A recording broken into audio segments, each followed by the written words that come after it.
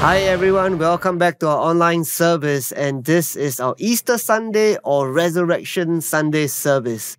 And do, I do hope that you're having a good uh, longer weekend in the last couple of days and really more so that you're taking this time to remember Jesus, remember the power of his resurrection. And I'd like to begin this time of praying together looking at a couple of verses in 1 Thessalonians.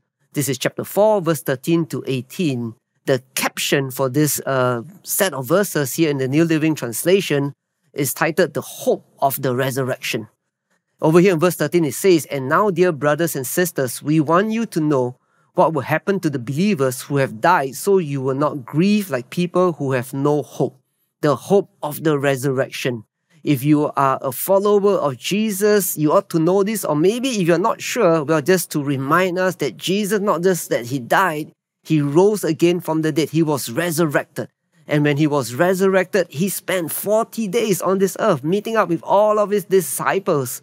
And the, the day that he was taken up into the sky, the disciples were looking at him, and an angel appeared to them to say that, Hey, why are you looking there? This same Jesus will one day return in the same manner, coming from the sky, return in the same manner. And we are talking about this hope. Paul is referring to this hope about people who have gone before us. People in other translations, they say people who have fallen asleep. In verse 14, it goes on to say, For since we believe that Jesus died and was raised to life again, we also believe that when Jesus returns, God will bring back with him the believers who have died. Jesus is coming back again.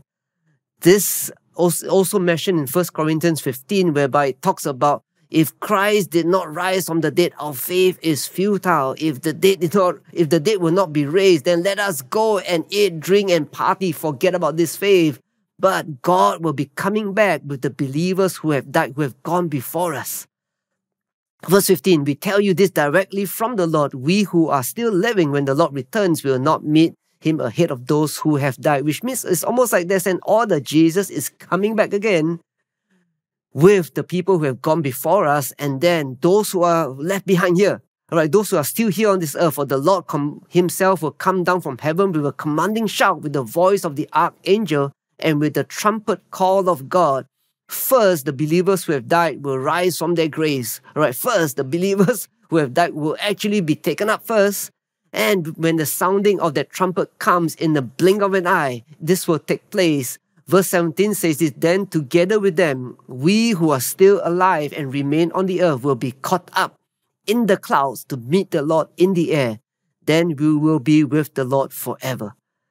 This is the hope of the resurrection. Even as we celebrate Resurrection Sunday, this is just an encouragement for all of us to celebrate this hope that Jesus is coming again.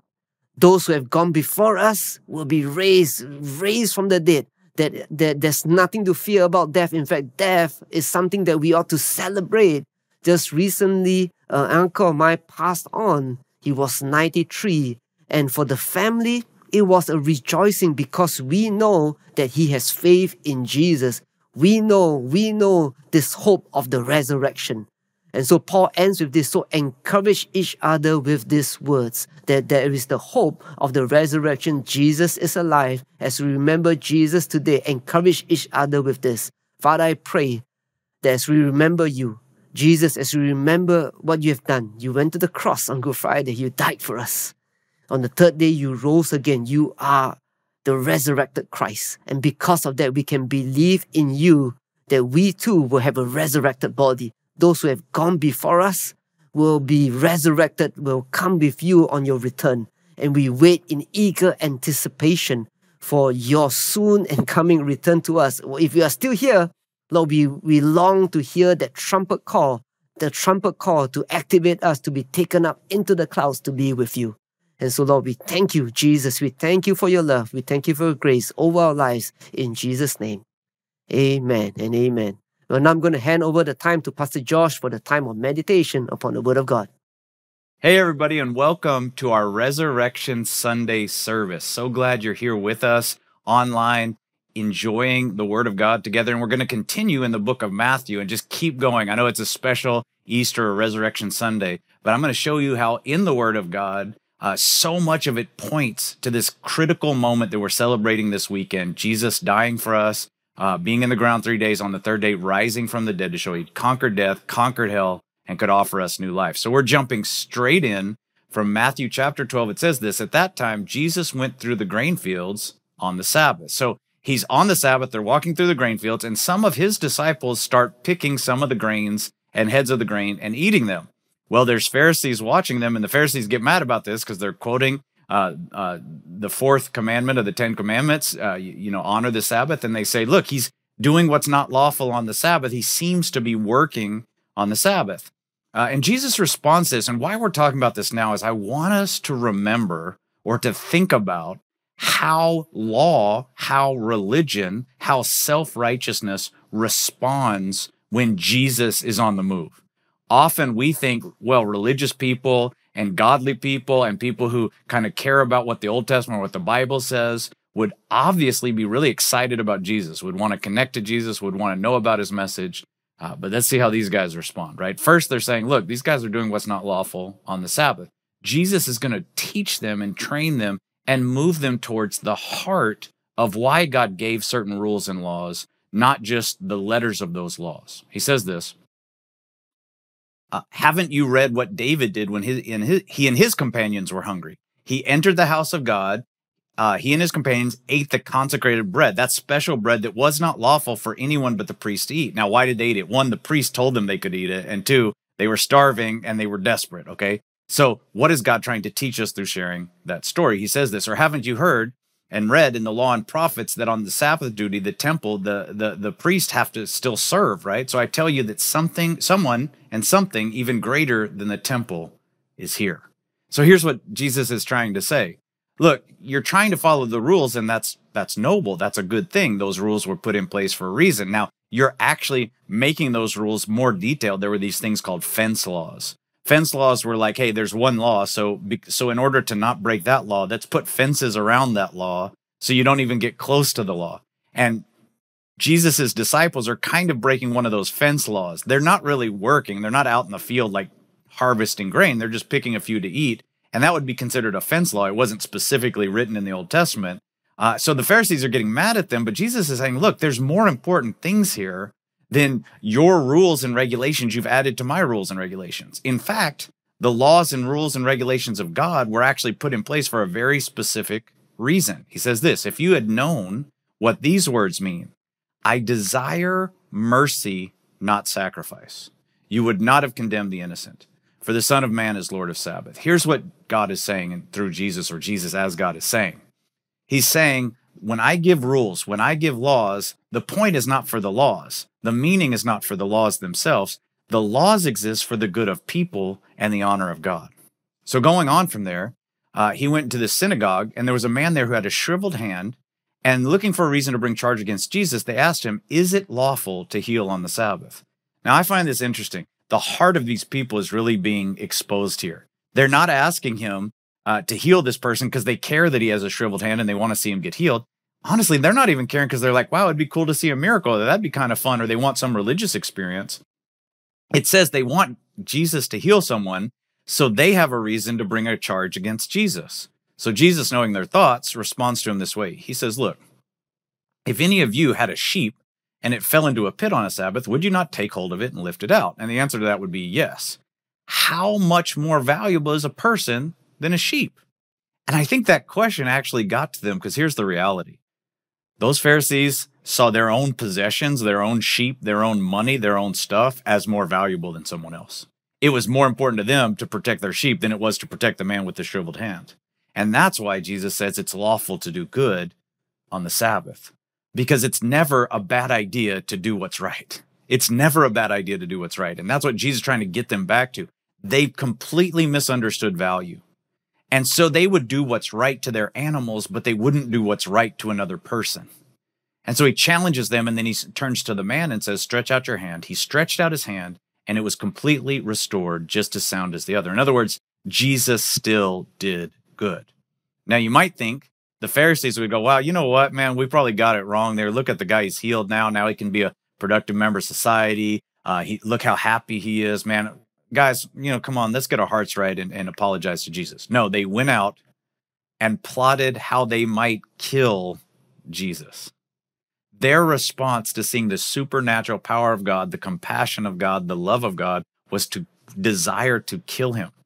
You know, when my number one goal is being right, then I'll win an argument at the expense of a relationship. When my number one goal is getting what I want, I'll destroy more valuable things like my relationship with God, my relationship with my wife, my relationship with my kids or my friends uh, or the rest of my family. I'll destroy that in order to get what I want. And that's what's happening to these guys. And that's the danger of religious focus, self righteousness, self focus, is we actually destroy the things that are valuable, missing out on the power and the peace and the love that's right in front of our face. But Jesus is aware of their plan. So, aware of this, he kind of gets out of that place, right? Because he's not uh, going to sit around wait for them to kill him. So, uh, but this is classic Jesus, right? He's trying to get away. Large crowd follows him. So, what is Jesus's response when a large crowd follows him? He heals everybody who's ill. That was happening so he could fulfill what was spoken by the prophet Isaiah. Jesus doesn't stop doing what's right just because it gets difficult. Jesus doesn't stop loving people just because some people didn't love him back. And here's what Isaiah said about him. He said, This is the servant of God who have I chosen, the one whom God loves and whom he delights. God says, I will put my spirit on him and he will proclaim justice to the nations. He will not raise quarrel or cry out, nor will he raise his voice in the streets. In other words, He's not there to self aggrandize. He's not there to draw crowds to himself. The crowds followed him because he was so good, but he wasn't there drawing crowds to himself.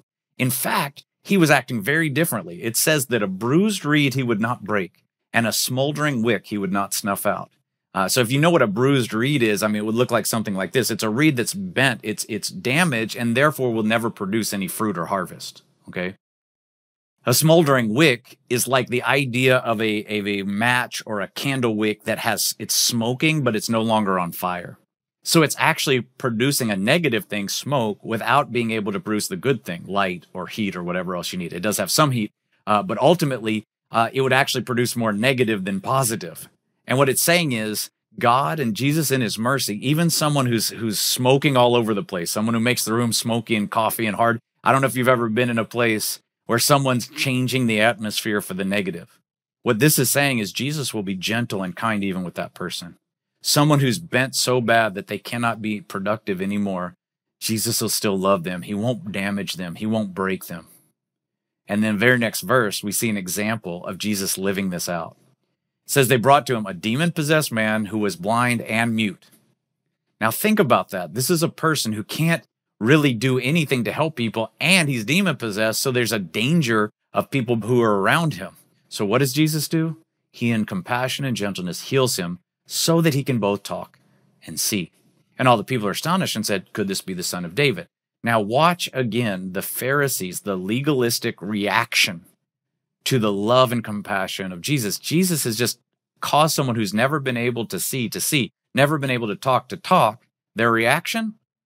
oh, he's doing that because by Beelzebub, the prince of demons, he's driving out demons. Once you've decided you hate somebody, rationality leaves. And these guys are not talking logic anymore. They're not talking religion anymore. They just hate Jesus, and no matter what he does, they're going to see it as a bad thing. Jesus, knowing their thoughts, says this Every kingdom divided against itself will be ruined. Every city or household divided itself will not stand. If Satan drives out Satan, is he divided against himself? How can his kingdom stand? And if I drive out demons by Beelzebub, he gets them on this one.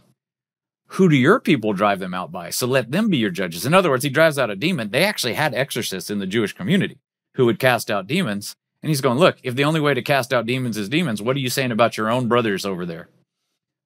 And then he dr- really drives to the heart of this whole thing. And I think for this Easter, this Resurrection Sunday, this celebration right now, what we're celebrating, we really have to decide this in our own hearts, in our own lives, in our own souls. If it's by the Spirit of God that I drive out demons, Jesus said, then the kingdom of God has come upon you. In other words, guys, if this is real, which it is, if these miracles you're seeing are really happening, you need to understand and you need to repent. God has shown up. This is his kingdom. This is his spirit, and things are changing. Life is coming peace is replacing war, love is replacing hate. All these things are happening because God's kingdom is coming. Now he says again, Uh, can anyone enter a strong man's house and carry off his possessions unless he first ties up the strong man? Then he can plunder the house. And we've used this a lot in sort of spiritual warfare and different terminologies. If I could just offer one devotional thought from this verse that hit me recently. You know, if I'm the head of my household, if I'm the strong man of my house, there's a limited ability for me to protect my home. I'm not as strong as I used to be, definitely. And I'm not that strong compared to a lot of people in the world. If our safety is built based on how much I can protect our home, it's kind of limited. But if God, the King of Kings, the Lord of Lords, the all powerful God of the universe is the strong man in my house, that house pretty safe. Nobody's going to bind him up. Nobody's going to tie him up. That place is going to be a place of safety and peace because they cannot plunder his house because he's too strong for that. But now Jesus goes on and says this Whoever's not with me is against me. Whoever does not gather with me scatters. So he's challenging them. Why are you pushing people away in the name of God when, when I am God? You should be drawing them to me. And so I tell you, every kind of sin and slander can be forgiven, but blasphemy against the Spirit will not be forgiven. Because this is going to be a critical factor. This is why Jesus cares so much. When you speak evil of the Spirit, you're actually pushing people away from any chance they have to engage in an eternal relationship with God, to have that relationship with God, because that happens in our spirit. Jesus said he's the way, he's the truth, and he's the life and you come to him uh, and no one comes to the Father except through him. So you need the Spirit of God to awaken you in your heart. That's why we were dead in our sins and transgressions. And then Jesus makes us alive so we can have relationship with God. And he's saying, if you don't have that, you can't even be connected to the kingdom. So he says, that will never be forgiven you. Anyone who speaks against the Holy Spirit will not be forgiven in this age or the age to come. Uh, now, I do want to encourage you if you've ever done that, because I had a friend who thought that was funny, read that verse, and in a, in a young childhood, he he was like, "Oh, I'm going to do that. I blaspheme the Holy Spirit." And he ha ha ha. I, I want to balance something. The very fact that he was concerned he had hurt God and that he was unforgivable by doing that told me that his heart wasn't seared enough uh, to mean that he wasn't forgiven of God. When we do things in ignorance, God's willing to forgive us. These are people who should have known better, who had seen Jesus in the flesh, who had seen Jesus doing miracles in the flesh, and they were attributing things that were obviously the Holy Spirit to things that to to to Beelzebub, to de- demons. And he was warning them off that choice because he's saying if you make that choice, you're crossing a line you can't come back from. So how do we if we're not sure if we did something like that in our past, what do we do? If you're even worried or listening to me right now and concerned you might have done that, if you cry out to Jesus, I guarantee he'll forgive you because your conscience would be seared and you wouldn't even be asking for forgiveness unless he was still drawing you home. So just want to encourage you with that. Now he goes on to say this make a good tree, make a tree good, and its fruit will be good. Make a tree bad, and its fruit will be bad. For a tree is obviously recognized by its fruit. So one of the good fruit we have sometimes is repentance, is recognizing we've done wrong and going, Hey, I'm sorry, I want to change. That by itself is a beautiful fruit that shows we're turning back to God. Now, Jesus ramps up his attack on these Pharisees right here, and he calls them children of snakes. That's a bad one. You brood of vipers. How can you who are evil say anything good? For the mouth speaks what the heart is full of. This is a huge lesson for me. The reason you want to give your heart to Jesus, the reason you want to let him put his word in your heart and his spirit in your heart and his love in your heart is because what comes out of your mouth is what your heart is full of. He says, A good man brings out good things out of his good stored up in him. An evil man brings out evil things out of the evil stored up in him. Uh, so, how will you know someone's good or evil? By the words that come out of their mouth. But I tell you that everyone will give an account on the day of judgment for every empty word they've spoken. That really hit me uh, as I looked at it because I realized sometimes I'll say things and I'm like, man, why did I say that? That was kind of um, crass or that was kind of you know inappropriate or something like that. Uh, and God says here, you're, by your words you will be acquitted, and by your words you will be condemned. Now we shouldn't feel shame and guilt and go, oh no, I could never be forgiven, because again, Jesus is offering, once we realize we've said, Hey, Lord, I've said the wrong things, heal my tongue. Uh, Isaiah said, I'm a man of unclean lips in the midst of a people of unclean lips. And so God touched, sent an angel and, and touched him with a coal from his fire. This is a story in Isaiah. And it actually changed how he spoke. In other words, God puts his word in him. He puts his spirit in us. When his presence comes, it kind of burns out all the junk so that we can live in his light, right? Um, another example of that is the idea of uh, photosensitivity. If you remember before Steve Jobs came and destroyed all the cameras in the world, there used to be cameras that had film in them. And when you have film, uh, if you are not, it's unprocessed film and you took a bunch of pictures, but then I was, were, was to hold it up to one of these lights. There's very bright lights in here. If I did that, the image is photosensitive. In other words, when that light starts hitting it, the image actually burns away. And you know, sins like that too.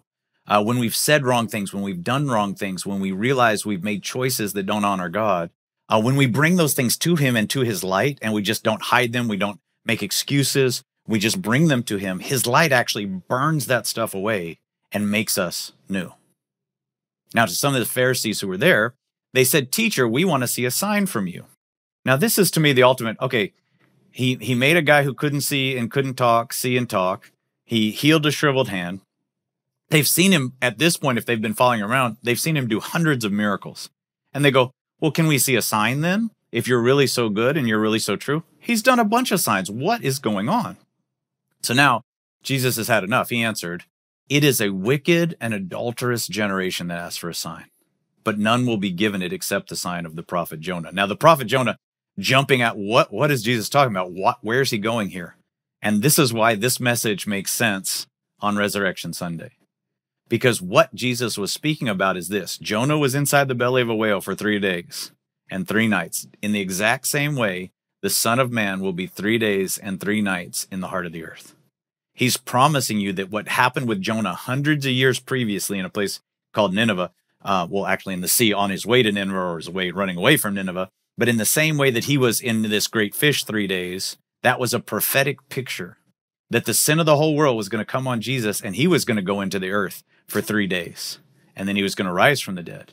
And then he makes this statement The men of Nineveh will stand up at the judgment with this generation and condemn it, for they repented at even just the preaching of Jonah. And now someone greater than Jonah is here. Here's what I don't want us to miss on this special Resurrection Sunday Jesus really did come. He really is God, but he did really live a life as a man for 33 years. He took on himself all our sin, all our shame, the punishment for everything wrong we've ever done. It was all put on him. He promised it. He prophesied about it. Isaiah prophesied about it. Jonah prophesied about it. Daniel prophesied about it. All kinds of people hundreds of years earlier prophesied about this man coming. When he died, uh, all our sin died with him. Three days later, when he rose from the dead, he was showing he had conquered death, he had conquered hell, he had conquered sin, and he could offer new life to anyone who believed in him.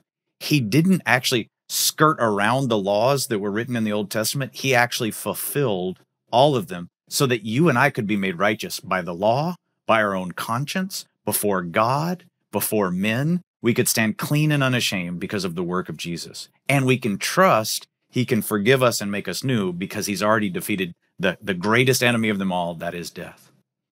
So let me summarize what I've said to you uh, on this Resurrection Sunday service. First of all, Jesus sets clear priorities for us.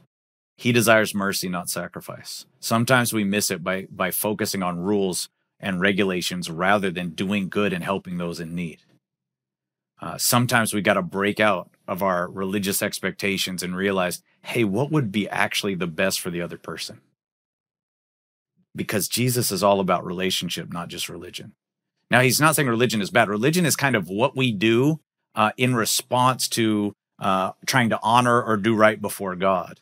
But he's saying that only comes out of a relationship with God where you know his heart. So you're doing things not just at the letter level, but at the spirit of why God wants you to do things. Now, religion's response to God saying all those things, first of all, they tried to kill him. They tried to kill his compassion. It's unlawful to do good on the Sabbath. You don't want to help people who are hungry eat. You don't want to uh, help people who are sick be healed. You want to just sit there and do nothing because that's more honorable somehow. We haven't figured out why, but that's what they seem to say. They question Jesus' authority. Who gives you the right to make these decisions? Well, God does because he's God. They accuse even the spirit that's at work in Jesus. They say you're doing this for evil spirit reasons, not godly reasons. And so that's how sometimes we respond when someone does something good, does something noble, does something led by the spirit, but it's different than our experience. You know, in church history, often the greatest persecutors of new moves of God are people who were part of old moves of God. And then 30 years later, 40 years later, God is moving in a new way that's different than how he did it before. Uh, so as I move from being part of this generation to being part of the previous generation, uh, I need to learn that God might be doing a new thing because his mercies are new every morning and because he's always doing a new thing. And so I need to trust that God's still on the move and God's still doing new things, and we can trust the new thing He's doing as long as we discern it's the Spirit of Him at work. How would we know it's His Spirit? Mercy is triumphing over sacrifice. Doing good is more important than rules and regulations. All these things that we see. Jesus' response. He manifests both mercy and sacrifice. I don't know if you noticed, but it said his disciples were eating. Jesus wasn't. Jesus was fully fulfilling the law with no question and no personal interest. And yet these guys, both mercy and sacrifice were needed. Jesus lives that out. He offers his body as a living sacrifice every single step of his life. And he exercises mercy everywhere he goes. Jesus does good and fulfills the law and the prophets. He doesn't make us decide between rules and regulations or doing good. He actually fulfills both so that by faith in him, we fulfill the law, we fulfill the rules and regulations, and he empowers us by his spirit to do good.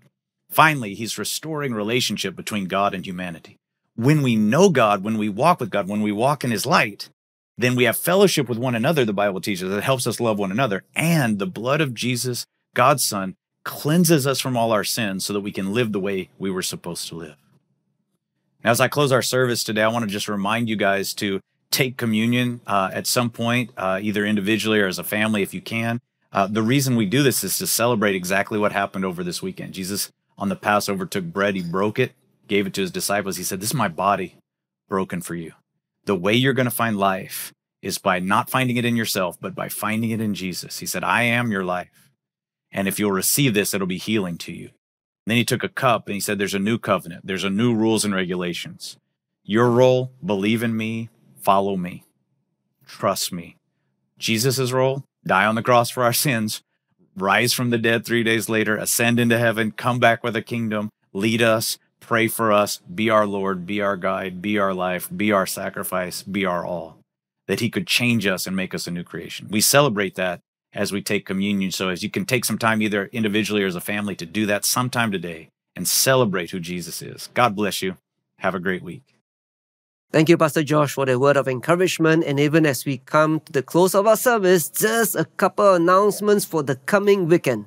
In this coming uh, Friday, with our monthly prayer and worship night, come and join us 7.30 p.m. at City Hub in Hall A. Come and join us to pray and worship and magnify God together. And then on Saturday, the 6th of April, is our monthly Mandarin fellowship as well. If you're Mandarin speaking or you have friends, colleagues, family members who are Mandarin speaking, come and join us for this time. All are welcome. And on Sunday, the 7th of April, is part one of our foundation series. Come and sign up for this. It's a two-part series, 7 April and 14th of April is on Sundays, 1.30 to 4 p.m. You can just scan the QR code and register online.